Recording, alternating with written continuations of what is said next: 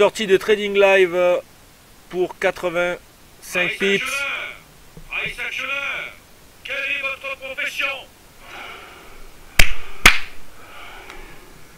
Voilà, nous sortons notre trading euh, sur euh, un bas de ranging en une minute.